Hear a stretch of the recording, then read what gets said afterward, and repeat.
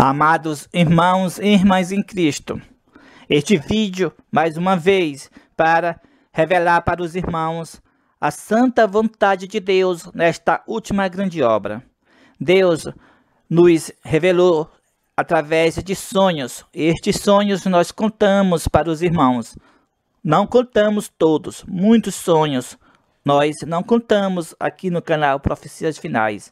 Se os irmãos estudaram os sonhos com diligência, os irmãos perceberam que Deus está revelando a obra final, como será, mostrando que Ele escolheu nós, este instrumento, o qual nós somos um instrumentos na mão de Deus, nos escolheu para dirigir esta última grande obra. E, portanto, a promessa do Espírito Santo será derramado sobre os seus filhos, sobre o seu povo. Porém, eu quero deixar bem claro que no tempo dos apóstolos, os apóstolos foram indicados por Deus para estar na liderança escolhida por ele. Então, ninguém recebeu o Espírito Santo naquele período sem estar em ligação com os discípulos de Cristo. Todos tinham que estar em ligação com os apóstolos, o qual o próprio Cristo designou para a liderança da igreja primitiva. Assim também nesta última grande obra, como nós já revelamos para os irmãos que Deus nos estabeleceu na frente para estar na frente desta última grande obra. E, portanto, os sonhos que nós contamos para os irmãos aqui no canal Profecias Finais, se os irmãos pesquisar com detalhe, estudar estes sonhos com detalhes, então os irmãos verá que ninguém receberá o Espírito Santo sem reconhecer este chamado maravilhoso que Deus fez para nós, para nós estar na frente desta última grande obra. Então, Todos os fiéis receberão o Espírito Santo nesses últimos dias. A promessa do Espírito Santo sobre a igreja se cumprirá, mas todos vão reconhecer esta liderança que Deus estabeleceu. Nós revelamos aqui, através do sonho, que Deus nos estabeleceu para estar na frente desta última grande obra. E assim todos os amados de Deus, os que vão receber o Espírito Santo, receber a chuva seródia, o refrigério pela presença do Senhor, vão aceitar o que Deus estabeleceu. Não pode, amados irmãos, quando Deus chama um para estar na frente da obra, outro se levantar com rebelião, ou o povo se rebeliar contra a vontade de Deus. Amados irmãos, vamos ser humilde, humilde para aceitar o que Deus estabelece. Humilde para levar a mensagem de Cristo, humilde para programar a terceira mensagem angélica, humilde para aceitar toda a sua santa vontade, pois devemos esvaziar de nós mesmos o orgulho, esvaziar de nós mesmos o eu, tirar de nós o egoísmo, vamos ser humildes. Já esses períodos que nós fomos chamados por Deus, duas vezes, nós já quisemos ficar calados sem revelar estas coisas para os irmãos e irmãs em Cristo. Mas todas essas vezes que nós desejamos ficar calado, então novamente vem Deus através de sonhos dizendo: revela as revelações que eu revelei para vocês. Diz para o povo, fala para o povo qual será a minha vontade nesta última obra. Que eu escolhi vocês para que vocês estejam na frente desta última grande obra. Então, revela para o povo as revelações. É por isso que nós colocamos aqui no canal Profecias Finais o que Deus nos revelou. Mostramos o chamado para vós Mostramos o chamado de Elias, do leão da tribo de Dan, que é o mesmo, das quatro rodas, que é o mesmo. Mostramos para os irmãos que isto será a restauração de Israel, isto será a igreja voltando para a condição da igreja primitiva, que isto também será a continuação do ministério de L.G. White, pois a igreja adventista do sétimo dia ainda terá nome. Então nós mostramos a vontade de Deus com humildade, ainda que muitos estavam nos tacando pedra, ainda que muitos estavam rejeitando, ainda que muitos estavam com toda a sua fúria contra este ministério, mas pela fé tivemos força em Deus, pois Deus concedeu o seu Espírito para que nós não desvanecesse e tivemos fé e coragem de colocar os sonhos que Deus nos revelou, os sonhos que Deus nos trouxe a nós, nós colocamos no canal Profecias Finais, colocamos para os irmãos ver como Deus quer que seja nesses últimos dias. Então, amados irmãos, também está de acordo com os escritos das escrituras sagradas, pois quando nós vê ali em Isaías capítulo 28, o homem de lábios gaguejantes, um homem valente e poderoso. Então, quando fala a respeito que este homem valente e poderoso é o homem de lábios gaguejantes, então diz nas escrituras sagradas que este é o refrigério. Ou seja, mostrando que Deus escolheu o homem de lábios gaguejantes, para estar na frente desta última grande obra e aqueles que o aceitar receberá o refrigério pela presença do Senhor, receberá a chuva seródia. Então, amados irmãos, todos os que vão receber o Espírito Santo não pode receber fora, ou seja, sem reconhecer este ministério, sem reconhecer a liderança que Deus escolheu, pois Deus nos escolheu para estar na frente desta última grande obra. Então, todos os que vão receber, assim nos dias dos apóstolos, todos os que receberam o Espírito Santo tinham que estar ligados com os apóstolos, todos os que vão receber o Espírito Santo têm que estar ligados com este ministério, o qual Deus designou. O ministério que receberá a chuva seródia. Não é, amados irmãos, como muitos pensam que tem que ser. Este poderoso movimento do Apocalipse 18 será da forma que muitos esperavam, que seria um barquinho aqui, outro barquinho acolá. Não, é só um barco somente.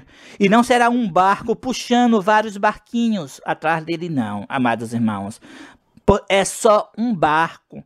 Não pode ser um barco puxando vários barquinhos atrás. Ou seja, não pode ser um ônibus puxando vários carros atrás. Não, amados irmãos. É um só movimento. Um movimento íntegro. Um movimento como está na profecia, o poderoso movimento do Apocalipse 18, como está num grande conflito sob a última advertência para os habitantes da terra.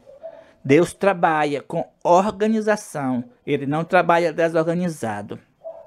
Então, minha oração para com todos é que todos aceitem a vontade de Deus, reconheça o chamado que Deus nos fez para que os irmãos possam receber o Espírito Santo, pois a promessa do Espírito Santo será cumprida. Logo haverá nas igrejas adventistas do sétimo dia, o Espírito Santo sendo derramado sobre aqueles que reconhecer este chamado. Ninguém, ninguém receberá o Espírito Santo sem reconhecer este chamado que Deus nos fez. Todos os que vão receber o Espírito Santo vão reconhecer este chamado, porque esta será a vontade de Deus e assim será. Agora, eu vou explicar para os irmãos como será o início disso tudo, como será o cumprimento do derramamento do Espírito Santo, como vai começar. Deus está nos guiando através de sonhos e Ele já nos revelou que nós vamos dar uma repreensão para os líderes mundiais da Igreja Adventista do Sétimo Dia. Então, nós vamos lá onde ele se encontra Acreditamos que será na Associação Geral. Então, com poder do alto, nós vamos repreendê-los. Nós já contamos este sonho aqui, que nós chegávamos lá onde ele se encontra, então nós falávamos, vós são jesuítas disfarçados de pastores, vós estão destruindo a igreja, trazendo apostasia. Então nós falava, vós fizeram isso, assim, assim e assim. Então eles ficavam atônitos, ficavam espantados. Então isto vai se cumprir literalmente.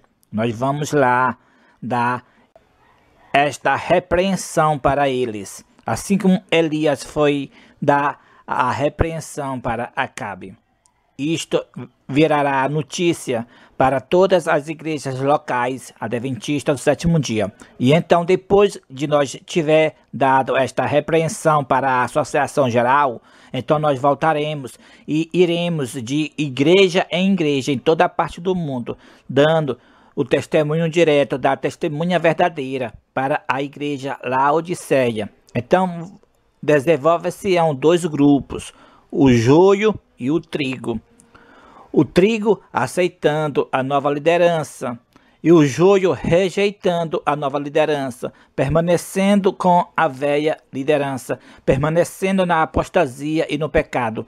Mas, porém, o trigo se purificando, buscando um preparo, se humilhando diante de Deus, comprando de Cristo o ouro refinado provado no fogo, comprando as vestiduras brancas e o colírio para ungir os olhos. Então, uma grande reforma, um revivamento dentro da igreja ocorrerá, como está predito nos livros de L.G. White.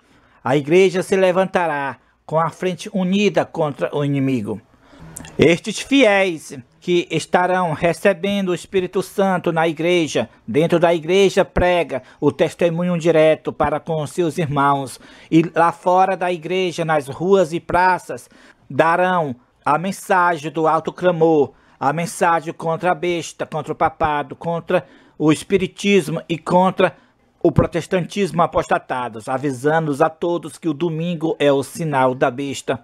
Então, a mensagem da justificação pela fé dentro da igreja, para que todos se reformem e busquem o verdadeiro arrependimento terá efeito. A fé no Salvador e a obediência aos mandamentos de Deus, todos os sinceros obedecerão esta mensagem da justificação pela fé. E fora da igreja, nós daremos a última advertência e também não Deus já revelou através de sonhos para nós que vai ser três anos de gemas escuras, ou seja, três anos de provação, ou seja, três anos de saco de dura. Então, no final dos três anos, nós receberemos o selo do Deus vivo. Então, teremos ainda seis meses para nós pregar com o rosto iluminados a resplandecer de santa consagração. Os 144 mil em toda parte do mundo darão a mensagem: sai dela, povo meu, para que não seja participante dos seus pecados e não incorra nas suas pragas. Por milhares de vozes, por toda a extensão da terra, será dada a advertência, e milhares de pessoas se converterão. Então será assim, amados irmãos. A mensagem do terceiro anjo não será dada ao mundo com sussurros, mas com extraordinário poder. Então, concluindo, depois de nós ter dado a repreensão para a Associação Geral da liderança rejeitada por Deus, sim, depois que nós ter ido para dar a repreensão para eles, então, como já dissemos aqui, nós iremos de igreja em igreja dar o testemunho direto para que as pessoas se arrependam e busquem o verdadeiro convertimento. E então, como já dissemos, desenvolva-se um dois grupos, o trigo e o joio. Esta é a sacudidura. Na verdade, a sacudidura já começou. Então, desenvolva-se-ão dois grupos. Quando ocorrer com poder do alto, nós ir para a liderança rejeitada e dar a repreensão. Então, nós voltaremos e iremos para todas as igrejas, para que as igrejas ouçam ouça o conselho da testemunha verdadeira. Então, aqueles que aceitarem o conselho da testemunha verdadeira aceitarem a liderança que Deus escolheu, começa a receber o Espírito Santo e também começa a propagar a verdade direta. Então será assim. Louvado seja Deus. E aqueles que fizerem isto se purificar-se-ão e depois receberão o selo do Deus vivo. Testemunho direto sem temer as consequências para a igreja de Laodiceia. Aguarde. Em breve.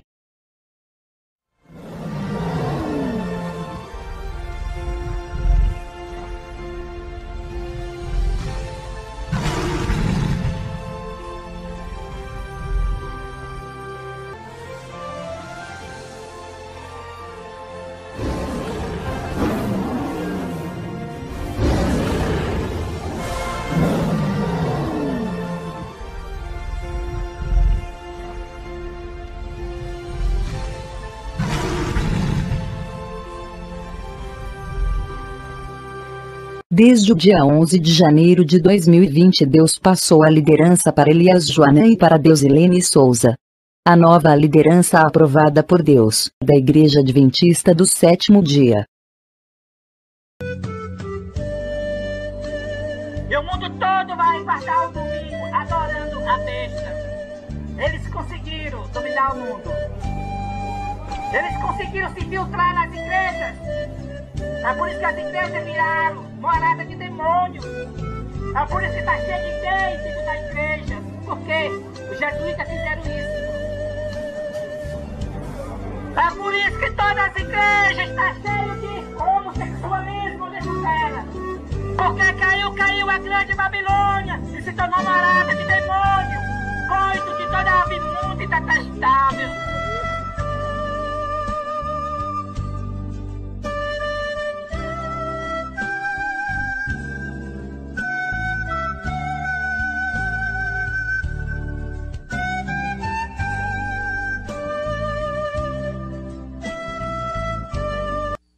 Nas igrejas adventistas do sétimo dia, deverá haver admirável manifestação do poder de Deus, mas ela não influirá sobre os que não se têm humilhado diante do Senhor, abrindo a porta do coração pela confissão e arrependimento.